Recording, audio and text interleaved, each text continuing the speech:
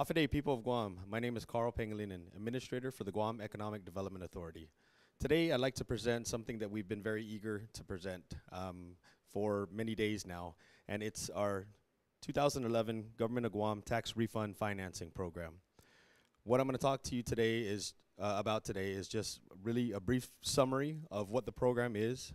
I want to answer a few questions on why we need to do this now I want to go into a little bit of detail about the uh, specifics of the program and wrap it up with some graphs that show exactly how we plan to get the money that we owe to you back in your hands. Moving on to the summary, here are some of the facts. Quite simply, our program plans to pay 100% of the accumulated tax refunds, unpaid tax refunds from 2011 and prior. Some of the concerns that we received are, are we going to be in the situation again? What about 2012 and future? What's going to happen in the future? Our program addresses that and will ensure that you're paid your tax refunds back on a timely basis and on a current basis. And point number three, can we afford this? We, we're going to showcase that the government actually has the capacity to handle this debt service in the coming years. The big questions, why now? Number one and foremost, this could be a slide on its own. This is the people's money, not the government's money. For far too long, we've held on to this money, We've barred against this money, we barred against your money, and we need to do our part to get it back into your hands. Number two, it supports the first point. The people need, people want, and people deserve their money immediately. Point number three, there's obvious economic benefits to injecting $311 million back into our economy through the people's hands. Point number four, again, the time to strike is now. Interest rates are historically at their all-time lows.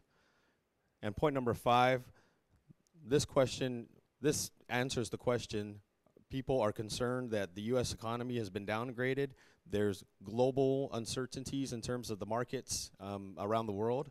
Well, with that, this makes bonds a more attractive rate to investors. It's a safe haven investment, and people flock to bonds when the market is uncertain. Now I'd like to get into the, the nuts and the bolts of our program. The 2011 financing consists of these components in, in terms of paying off the tax refunds. We've calculated that the unpaid tax refunds for 2011 and prior total $350 million. $245 million is the pace that we will get to with our current payments toward tax refunds, and that number is projected as of December uh, of this year. 105 million is the provision that's been set aside for the 2011 tax refunds. That totals 350 million. Our proposed bond, the total borrowing will be 343.7 million dollars, 311 of which will be net proceeds to go toward paying these unpaid tax refunds. This third column basically shows that this is really the only plan, at least that we've seen, that's been put forth that will address and and certain and for certain pay for 100% of all the 2010 and prior tax refunds by December. You ask, well, there's there's still a balance remaining, and yes, there's still a 38.4 million dollar balance. Now, the ACTC provision on reimbursement essentially for us to realize this reimbursement, we need to first pay the refund out. So once we pay the refund out, we will realize a $30 million, approximately $30 million reimbursement with the ACTC program, thus bringing this $38.4 million balance all the way down to $8.4 million. This next slide shows and answers the question about what are we going to do about staying current and taking care of all of our future obligations in terms of tax refunds. The first column here, again, shows that for that $8.4 million balance is carried over. We have provisions set in for 2012 and 2013 at 105 and 109 million dollars respectively. Those provisions are already on the books as provisions, and so it's addressed here, totaling 214 million dollars, which again leaves that 8.4 million dollar balance. There's a number of ways that we can knock out this final 8.4 million dollars. Um, we can go back to the market for uh, a future financing. Um, we can realize $8.4 million in budget savings, or we can realize an $8.4 million increase in revenues. Um, again, there's a number of ways to address that final little bit to get us all the way back, back to zero. The big question now is how much is this going to cost us?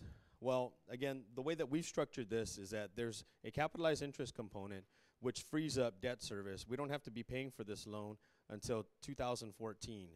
Come 2014, I want to add that there's also some other loans that we have on the books that will have matured by then, freeing up close to th- $13 million a year uh, that we're currently paying.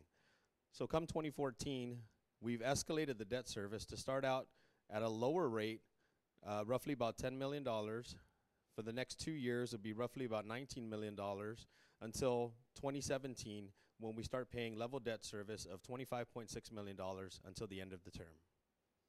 And that's our simple plan to get all of the tax refunds back in your hands.